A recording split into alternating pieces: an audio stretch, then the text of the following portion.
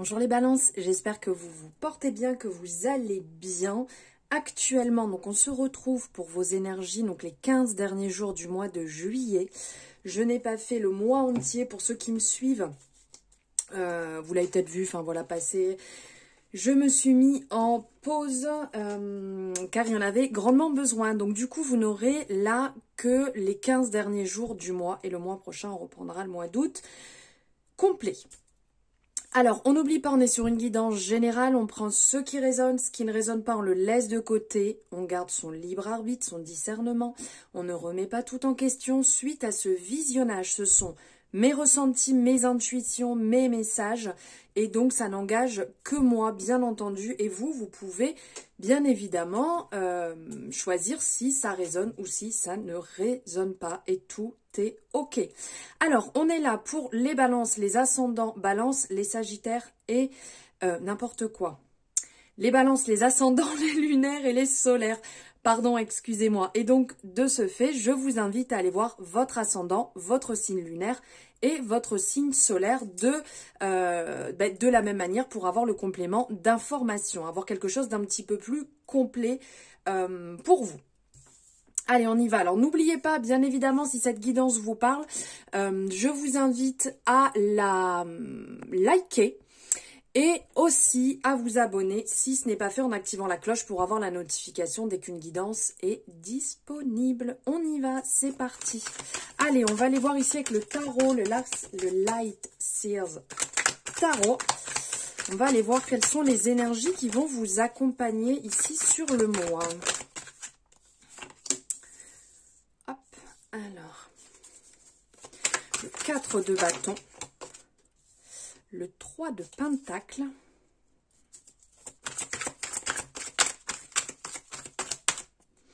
ok, là, le 4 d'épée, hop, ok, le 8 de bâton, hop, le 10 de bâton, et alors, je récupère la dernière qui s'est fait la malle, et hop, et là, la justice. La justice se fait la main. Et ben alors C'est quoi cette histoire? Alors donc, les énergies qui vous accompagnent ici sur le mois. Donc on commence par le 4 euh, de bâton. Le 4 de bâton ici peut nous dire, euh, entre guillemets, c'est un petit peu ce truc, on n'est pas bien ici? Vous n'êtes pas bien actuellement là où vous êtes? C'est un peu le message que pourrait euh, vous, vous, dire ici le, le, 4 de bâton. Euh, quelque part, cette énergie vient vous rassurer. C'est comme si vous êtes sur le point de vivre une période réjouissante, harmonieuse, paisible, dont vous avez grandement besoin. Euh, on vous appelle à accueillir cette période. On vous appelle à être dans le côté rassurant, euh, vous allez pouvoir vous centrer sur des choses qui vous tiennent à cœur et les célébrer, chose que parfois on peut avoir du mal à faire. Cette carte, elle annonce vraiment un côté satisfaction dans tous les domaines de votre vie et notamment dans les relations avec une possibilité de rétablir une certaine confiance qui est fragilisée. Donc ici, on le voit, il y a deux personnes qui sont ensemble, deux personnes qui sont joyeuses, qui s'amusent, qui sont euh, dans l'ouverture, la créativité, dans ce côté un peu artistique qui peut ressortir ici, la danse, euh, la musique, la joie. On est dans la stabilisation, on est dans la concrétisation dans la solidification aussi. C'est peut-être le moment de sortir de votre zone de confort et d'aller justement vers ce côté créatif, vers cette joie, vers cette abondance que vous n'osiez peut-être pas ou que vous laissiez de côté par un côté un petit peu de procrastination si je peux me permettre. Ensuite, on est sur le 3 de denier ici. Le 3 de denier va nous, euh, va nous dire, on observe euh, ces, idées prendre forme. On a encore un côté très créatif ici hein, qui est représenté avec le 3 de Pentacle. On est dans la réalisation, on est dans la concrétisation, on est dans le développement, on est dans les projets prometteurs. Ça vous indique en fait que vous êtes sur le point de concrétiser un projet qui vous tient à cœur. Donc vous voyez, là on est un peu dans cette résonance ici. Euh, ça peut être un moment qui, est aussi bien excitant pour vous car vous, pourriez enfin voir vos efforts porter leurs fruits. Cette carte, elle peut également vous signifier que récemment, vous avez travaillé très dur pour, pour faire valoir vos droits, vos idées, votre point de vue, et que vous devriez bientôt recevoir une forme de reconnaissance et des résultats positifs. Et quelque part aussi, c'est une bonne période pour les alliances et la collaboration. Vous voyez comme on le voit ici. Donc là, on a ces deux personnes qui sont représentées. Ici, on a ces trois personnes qui sont représentées. Il y a ce côté partage, il y a ce côté prometteur, ce côté on avance, mais euh, on, avance, mais pas seul. Euh, on vous dit de garder quelque part à l'esprit que tout comme, comment je pourrais dire?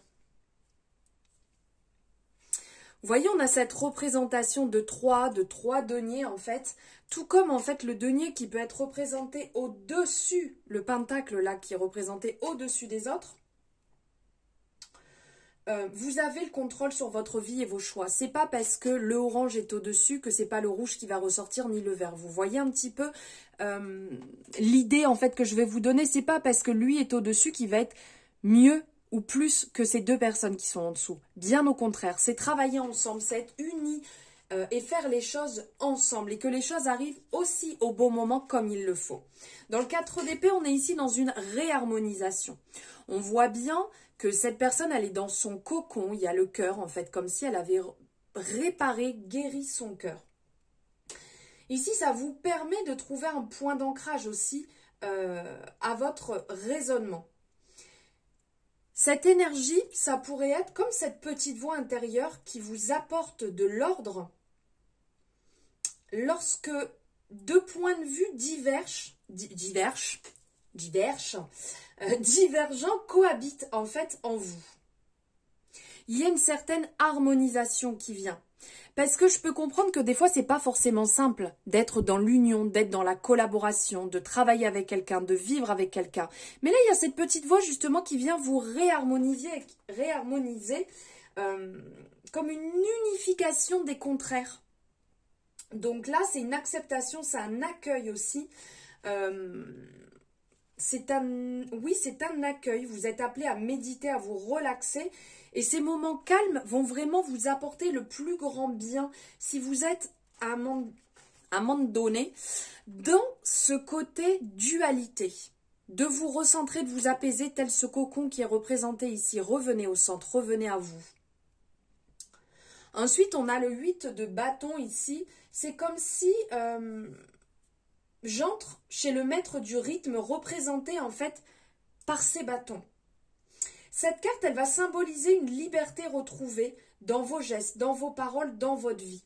Vous pouvez bouger à votre rythme et comme vous le souhaitez. Tout est en ordre et vous, vous comment dire, vous, ressentez une énergie nouvelle qui va vous envelopper, qui va vous pousser à aller de l'avant. Même si vous n'avez pas encore forcément eu le temps de réfléchir à où cela allait vous emmener. Le, le 8 de bâton, en fait, va vous inviter à prendre le temps de le faire. Euh, c'est comme si en fait vous étiez euh, poussé, vous vous sentiez pousser des ailes. Mais c'est pas étonnant parce que là on est dans le travail, dans la collaboration, dans l'union, la réalisation, la guérison. Et là derrière on a suite de bâtons qui arrivent justement et qui est un petit peu la, la stratégie, la réflexion. Zut, je n'arrive plus à articuler. L'organisation aussi. Et après, on enquille sur l'huile de bâton, bah, qui est la lumière au bout du tunnel, hein, tout simplement. On a cette représentation ici. On avance. Le fameux bout du tunnel est enfin là. Et justement, quelle joie de voir en fait cette carte arriver. C'est quand même au top là dans ce tirage de voir cette lumière qui arrive. Ça vous indique que vous allez bientôt pouvoir souffler. Et c'est peut-être aussi le moment de faire un bilan et de vous féliciter. On y revient. On y était dans le cas de bâton. Là, on est dans le 10 de bâton. Les gars, c'est le moment de se célébrer, de se féliciter pour le travail que vous avez accompli. Et votre corps, il en a besoin. Il, a besoin de ça aussi car vous devez vous régénérer. Et... Euh, il pourrait y avoir une rencontre, il pourrait euh, y avoir euh, comment dire, une rencontre, se, retrouver pour faire un bout de chemin ensemble. Le, le 10 de bâton va peut-être vous rappeler aussi, euh, comment je pourrais dire ça rattraper le temps perdu dans le sens, vous êtes passé à côté de beaucoup de choses. Votre corps vous a passé énormément de messages que vous n'avez peut-être pas intégrés et là c'est le moment de se choyer, le moment euh, de se féliciter, de, ce par quoi vous êtes passé, les épreuves que vous avez traversées et là où vous en êtes aujourd'hui. On aspire à de la douceur, on aspire euh, à mieux vivre, mais pour ça, il faut aussi l'intégrer, se rendre compte de ce par quoi vous êtes passé, le chemin que vous avez traversé ici, les bagages que vous avez portés, et continuer à avancer sur ce rythme. Et pour finir, on a la justice. La justice, c'est vraiment euh, agissez avec équité et honnêteté, et vous trouverez la réussite. On vous dit d'être droit, on vous dit d'être impartial, d'être juste, d'être moral, euh, d'avoir cet équilibre et d'être honnête avec vous. Vous voyez, on a la représentation ici de l'effet miroir. Regardez, le côté sombre, le côté lumineux. Et là, le 10 de bâton, venez vous dire de vous féliciter, de vous rendre, vous rendre compte par quoi vous êtes passé. Il y a aussi cette guérison. Mais là, si vous ne voyez pas réellement ce que votre corps est en train de vous partager, ce dont vous avez réellement besoin et ce que vous laissez de côté, vous allez louper quelque chose. Là, la vérité, il faut la regarder en face. Il faut être juste, il faut la regarder droit dans les yeux et ne pas avoir peur. Ça sert à rien de se cacher puisque votre corps le sait, votre âme le sait. Soyez honnête avec vous et vous pourrez avancer avec euh, plus de facilité. Mettez des mots sur vos mots, sur votre parcours et avancez justement avec beaucoup plus de douceur vis à -vis de vous-même. Voilà les balances. On va aller voir ici ce que... Là, allez, ce que l'horoscope de Leïla a à nous dire pour vous les balances. Quel message allez-vous recevoir? Alors, pour les balances, s'il vous plaît. Allez, on va aller chercher. Vénus, l'été et la maison 7. Waouh ces représentations, elles sont vraiment magnifiques. Alors pour Vénus, ici, on est euh, sur l'amour, on est sur le plaisir, on est sur les sentiments, euh, on est sur l'art. Vraiment, Vénus représente euh, cet amour en fait. Après, on a l'été. On a l'été qui est, qui est juste ici. Pour l'été, on va euh, parler aussi d'amour, on va parler de partage, de plénitude, d'effort. Et pour la maison 7, on est sur euh, l'alliance, l'association, euh, les partenaires. Alors, ici, on a vraiment quelque chose qui tourne autour de l'amour, du plaisir, de la symbiose, de l'union, de la beauté. Est-ce que vous vous faites plaisir les balances? Ou est-ce qu'en ce moment vous êtes bloqué, frustré, euh, impossible pour vous de lâcher? Est-ce que vous êtes dans une relation qui ne va pas? Est-ce que vous n'êtes pas OK avec vous, pas OK avec votre corps? Parce que là on vous dit on y va, on se lâche, on se fait plaisir. C'est en plus l'été, donc on est vraiment dans cette saison du plaisir.